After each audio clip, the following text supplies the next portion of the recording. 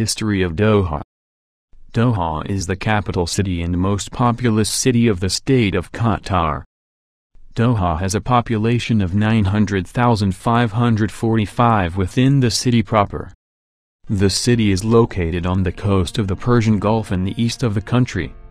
The city present you History of Doha Establishment of Al-Bidda The city of Doha was formed after seceding from another local settlement known as Al-Bidda.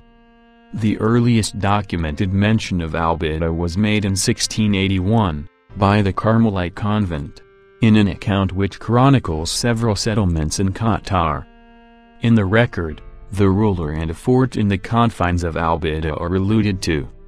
Carsten Niebuhr, a European explorer who visited the Arabian Peninsula, created one of the first maps to depict the settlement in 1765 in which he labeled it as Guttur. David Seton, a British political resident in Muscat, wrote the first English record of Al-Bidda in 1801.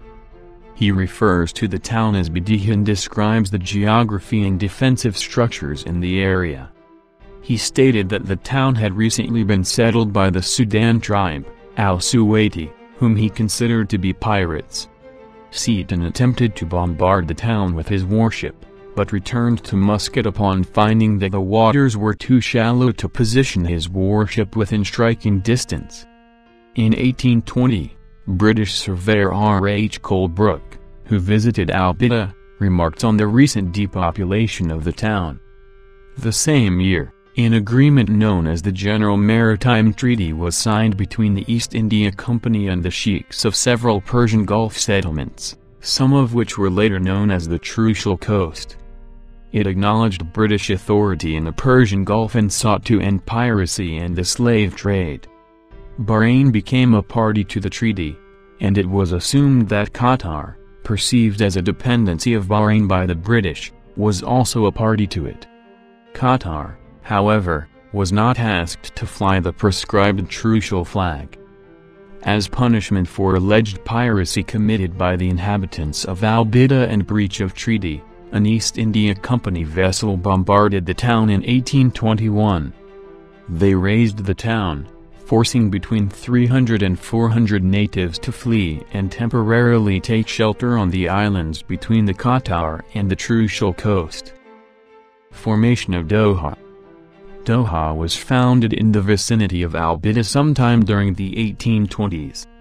In January 1823, Political resident John MacLeod visited Al-Bidda to meet with the ruler and initial founder of Doha, Buer bin Jubran, who was also the chief of the Al-Buaynain tribe. MacLeod noted that Al-Bidda was the only substantial trading port in the peninsula during this time. Following the founding of Doha, written records often conflated Al-Bidda and Doha due to the extremely close proximity of the two settlements. Later that year, Lieutenant Guy and Lieutenant Brooks mapped and wrote a description of the two settlements. Despite being mapped as two separate entities, they were referred to under the collective name of Al-Bidda in the written description. In 1828, Muhammad bin Khamis, a prominent member of the Al-Buaynain tribe and successor of Buer bin Jubran as chief of Al-Bidda, was embroiled in controversy. He had murdered a native of Bahrain prompting the Al-Khalifa Sheikh to imprison him. In response, the Al Buaynain tribe revolted, provoking the Al-Khalifa to destroy the tribe's fort and evict them to Fuwairat and Aruaz. This incident allowed the Al-Khalifa additional jurisdiction over the town. With essentially no effective ruler, Al-Bidda and Doha became a sanctuary for pirates and outlaws. In November 1839, an outlaw from Abu Dhabi named Gilata took refuge in Al-Bidda, evoking a harsh response from the British. A.H. Nott, a British naval commander, demanded that Salman bin Nasr al-Suwaidi, chief of the Sudan tribe in Al-Bidda, take Gilata into custody and warned him of consequences in the case of non-compliance. Al-Suwaidi obliged the British request in February 1840 and also arrested the pirate Jasim bin Jabir and his associates. Despite the compliance, the British demanded a fine of 300 German krones in compensation for the damages incurred by pirates off the coast of Al Bidda, namely for the piracies committed by bin Jabir. In February 1841, British naval squadrons arrived in Al Bidda and ordered al-Suwaidi to meet the British demand, threatening consequences if he declined. Al-Suwaidi ultimately declined on the basis that he was uninvolved in bin Jabir's actions. On 26 February, the British fired on Al-Bidda, striking a fort and several houses. Al-Suwaidi and paid the fine in full following threats of further action by the British. Isa bin Tarif, a powerful tribal chief from the Al-Bin Ali tribe, moved to Doha in May 1843. He subsequently evicted the ruling Sudan tribe and installed the Al-Madid and Al-Kawari tribes in positions of power. Bin Tarif had been loyal to the Al-Khalifa, however, shortly after the swearing-in of a new ruler in Bahrain, Bin Tarif grew increasingly suspicious of the ruling Al-Khalifa and switched his allegiance to the deposed ruler of Bahrain, Abdullah bin Khalifa, whom he had previously assisted in deposing of. Bin Tarif died in the Battle of Fuwayrit against the ruling family of Bahrain in 1847. Arrival of Al-Thani The Al-Thani migrated to Doha from Fuwayrit shortly after bin Tarif's death in 1847 under the leadership of Muhammad bin Thani. In the preceding years, the Al-Thani assumed control of the town. At various times, they swapped allegiances between the two prevailing powers in the area, the Al-Khalifa and the Saudis. In 1867, a large number of ships and troops were sent from Bahrain to assault the towns Al-Wakra and Doha over a series of disputes. Abu Dhabi joined on Bahrain's behalf due to the conception that Al-Wakra served as a refuge for fugitives from Oman. Later that year, the combined forces sacked the two Qatari towns with 2,000 men in what would come to be known as the Qatari-Bahraini War.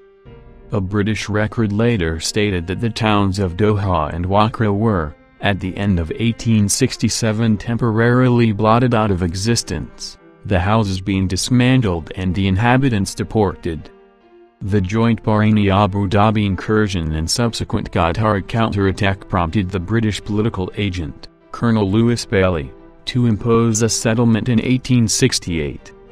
Pelly's mission to Bahrain and Qatar and the peace treaty that resulted were milestones in Qatar's history.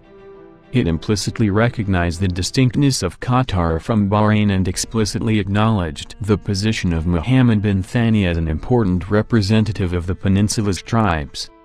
Shortly after the war, the Ottomans took up a rather nominal control of the country constructing a base in Doha, with the acquiescence of Jassim al-Thani who wished to consolidate his control of the area.